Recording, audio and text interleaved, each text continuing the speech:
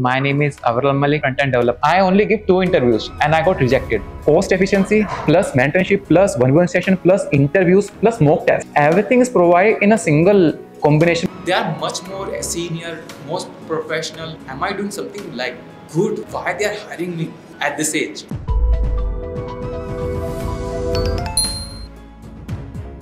So hello, my name is Aviral Malik and I am a front-end developer with the experience of 2.5 years right now.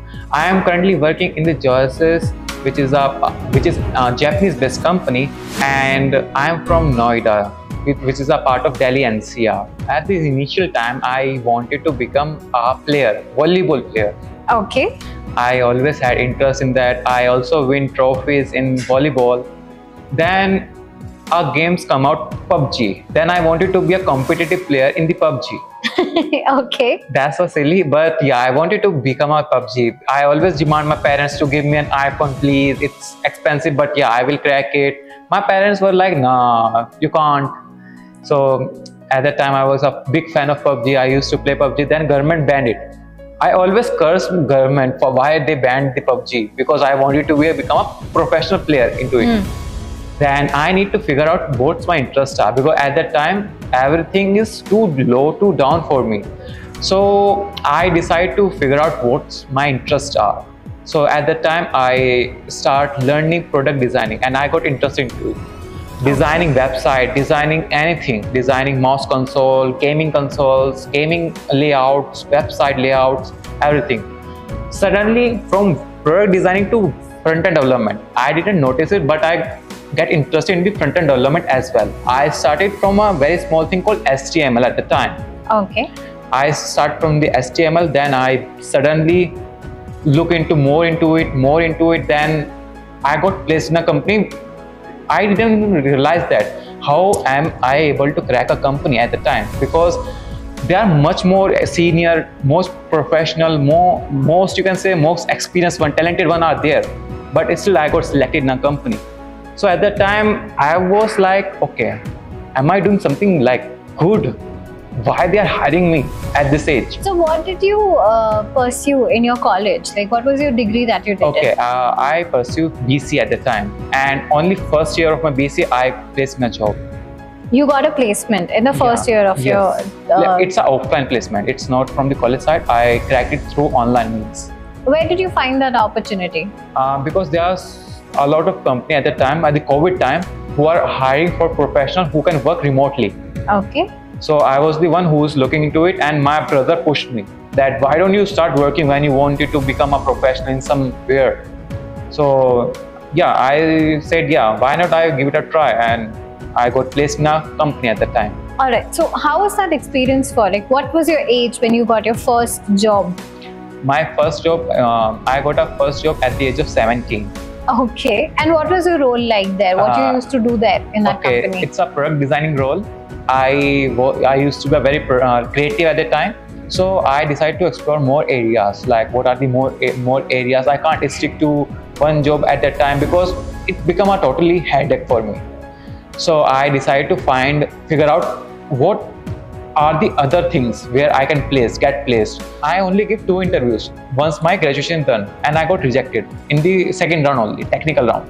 Hmm. So at that time, I start exploring my internet. What are the managers? What are the firms who provide with the manager who can manage my interviews, my education, what I need to learn for the uh, industrial areas. What was your thought process that I need a program or I need to learn all the things that I'm interested into in a structured way? For me, Kickstarter point is the rejection. Hmm. I like there are hundred companies, and I got so shortlisted for two companies based on my resume. Hmm. and they rejected me in the second round. So it's a feeling like I can't say to my family that I got like that I applied for hundred companies and I got rejected just in just in just two days. At that point, it's totally like I am not in, like I am not fully prepared for the industry right now. I need Got to it. prepare myself. All right. So, how did you hunt for learning for the skills or finding the right program for you started? Okay, for that uh, I start contacting through online means. I was searching for the manager who can manage my interviews and can tell me about what industry want. As a person who can tell me what industry want right now.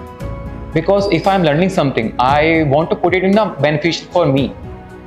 If i'm learning a simple language called javascript i wanted to make sure that that industry want that. So that's why i start hunting a lot of companies. Then i come through Crio at that moment Okay. who provide like they provide everything even mentorship uh, 1v1 session and mock test as well then interview preparation as well. Even if i'm going for Crio now i wanted i wanted to make sure that Crio is the best at that, at that time.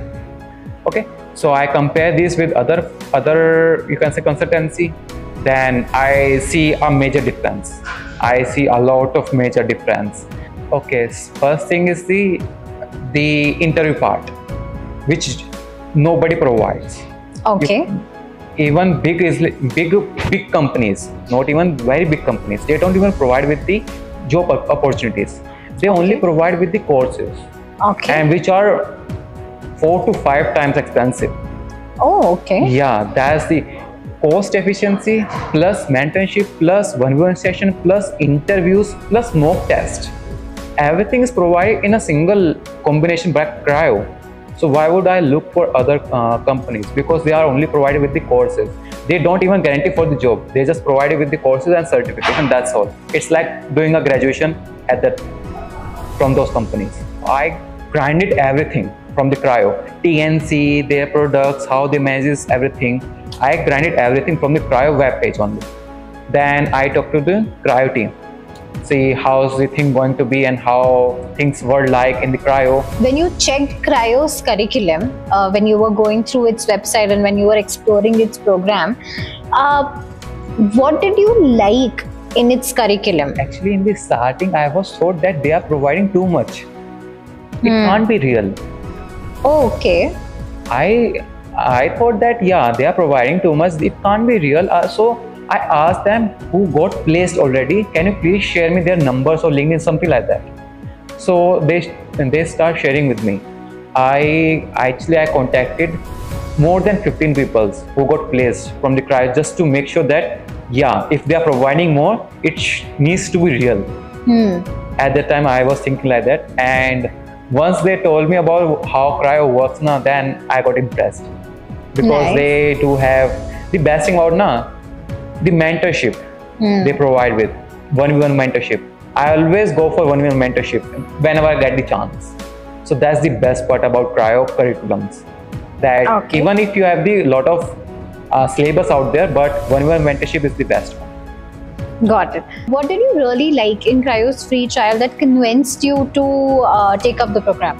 actually at that time i was like so strict on them that instead of giving me trial can you please provide me with the contact number of for folks who got placed from this company Okay. so the only way that i that i got the free trial is to contact them Okay. i contact them i talk to on linkedin as well they provide me all the details then after i joined the free trial of the Crio Okay. then they give me a certainty you can say a surety at the time that it's going to be like this and please make sure we are not going to leave you behind Hmm. that part caught me and i yeah let's go for it Uh, how many projects did you make with Crio? a lot Huh, like, do you have a number? uh, i'm a part of a full, uh, full sprint uh, program Okay. i added uh, six extra sprint into mine Okay. six extra so i made around 10 to 12 projects Wow, that's nice. Which Yeah. one was your most favorite one? uh, the most favorite one is the there's a spotify clone so we need to make that spotify clone QTify something like that Hmm. i don't remember the full name but it's a spotify clone and at that time i yeah it just surprised me that yeah i can able to make this one because after eight months i need to see myself now where i stand so once i made that clone i am satisfied with myself that yeah i'm exceeding in my Okay, skills. that you learned some skill and now you're able to build something from scratch. yes Nice. How was your experience with uh, Crio's mentors? super amazing I was the one who asked them millions of questions in the session. Even after call, once the meeting is end, the mentor are so good they provided me with their actual numbers. I always contacted their real numbers.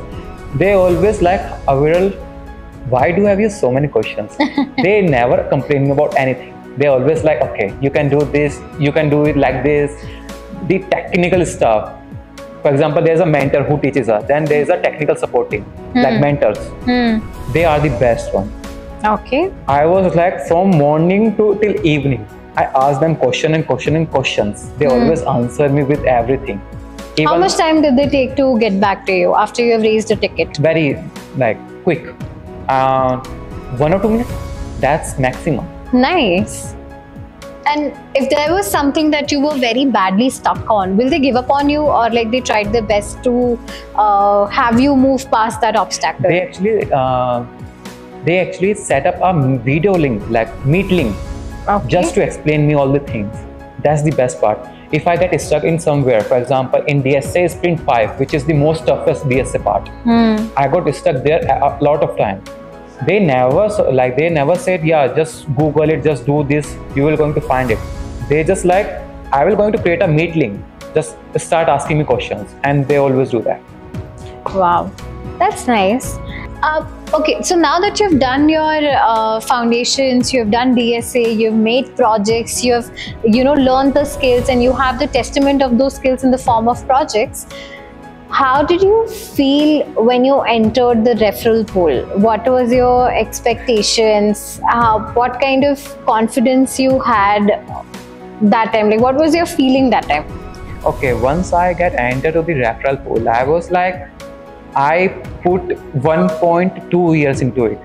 From the 1.2 years, I am learning everything. I never asked to put me in the referral pool. So you can say that in the uh, 14 months, I actually did 18 sprints in total. Okay, okay. So I was doing two sprints a month sometimes. Got it, got it. So, So you took more advanced uh, areas also and skills also to, Yes. in your curriculum. Yes. So once I get entered into the referral pool, my my own expectation and confidence are very high in in Crio actually, not in the companies, but in the Crio that they're going to provide me with something very unique and very good, because at that time everything is going on point.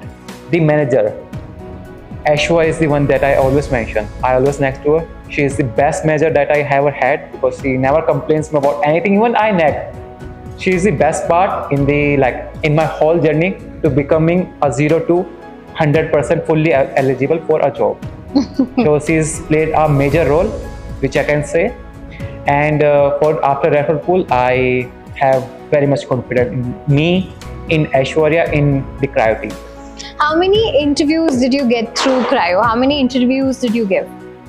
a lot i can't even number it but a lot actually Roughly, if you were to give a number.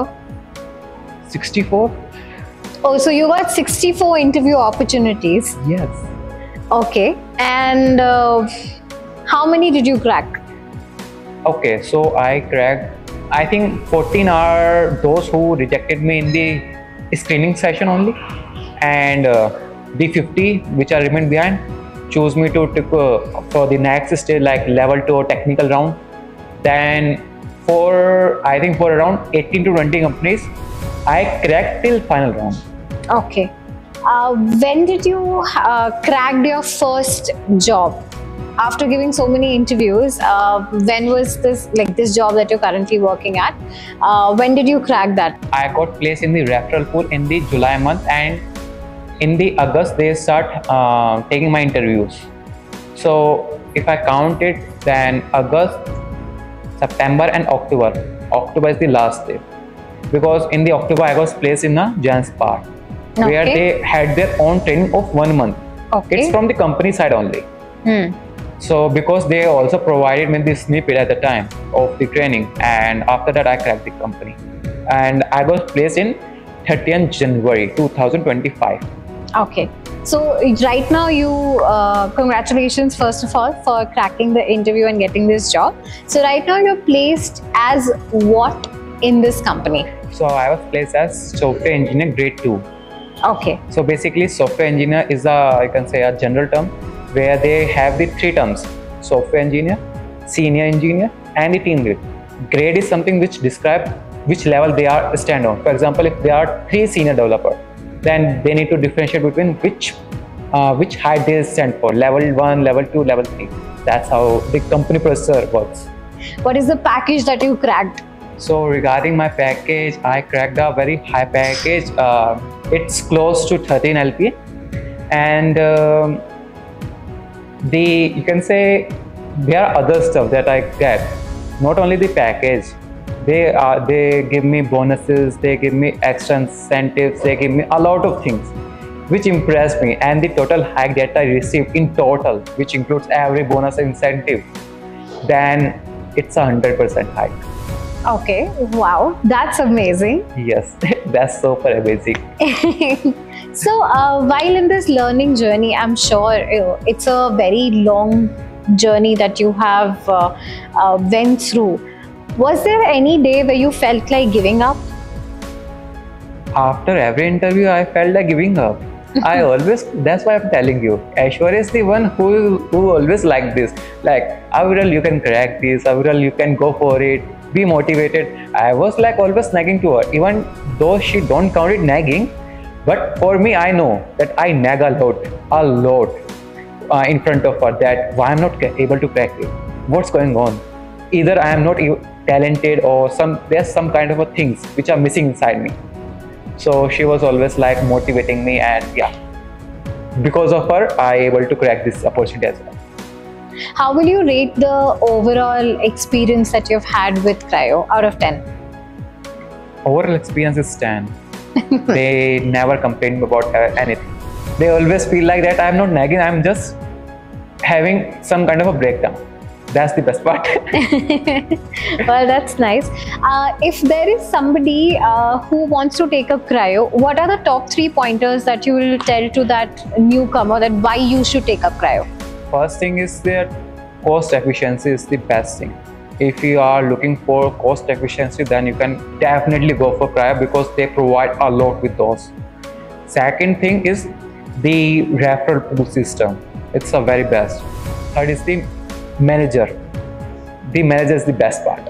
I always like them that's the best part for me Wow, nice. What is that one piece of advice uh, that you would want to give to a fresher who's just starting out in his career and has been just graduated?